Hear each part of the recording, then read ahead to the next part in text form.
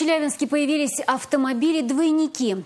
Южноуральцы жалуются, что им приходят письма счастья от ГИБДД, в которых фото их госномеров, но на других машинах. Стоит ли платить в таком случае штраф и откуда берутся поддельные номера? Выясняла Светлана Свечкарева.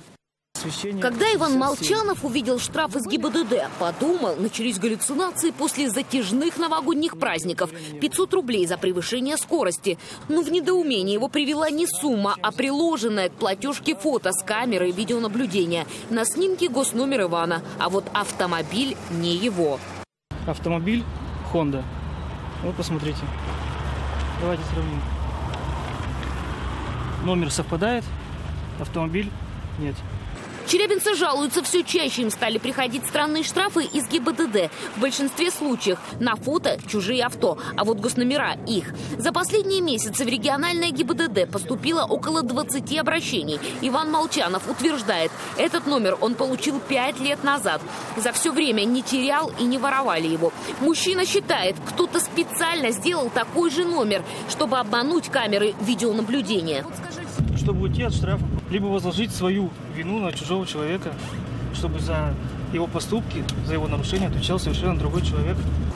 Сейчас в Челябинске десятки фирм и мастеров, которые занимаются изготовлением госномеров. Официально, конечно, делают дубликаты утерянных или испорченных. И только при наличии у владельца необходимых документов. Но фактически за деньги готовы сделать все, что угодно. Наша съемочная группа под видом заказчиков встречается с одним из таких умельцев. Осмотрительный мужчина для деловых переговоров выбирает безлюдный двор.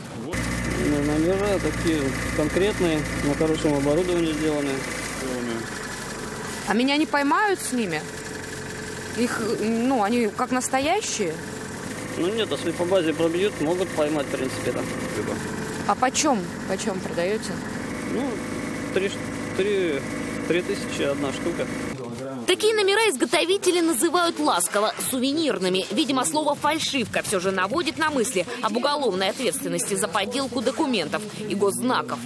Настоящее от фальшивки не сможет отличить ни одна видеокамера и даже человек, пока не подойдет к номеру вплотную. На настоящем госномере должны быть вот такие голограммы, которые видны только на близком расстоянии и под определенным углом света.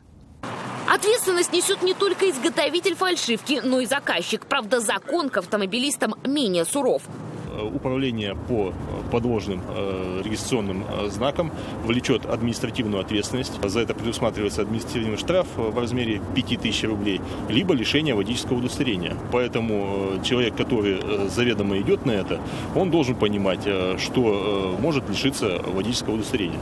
Иван Молчанов самостоятельно разыскивать владельца номера двойника не намерен. Платить штраф за незнакомого шутника тоже не хочет. Написал заявление в ГИБДД с требованием отменить наказание и найти самозванца.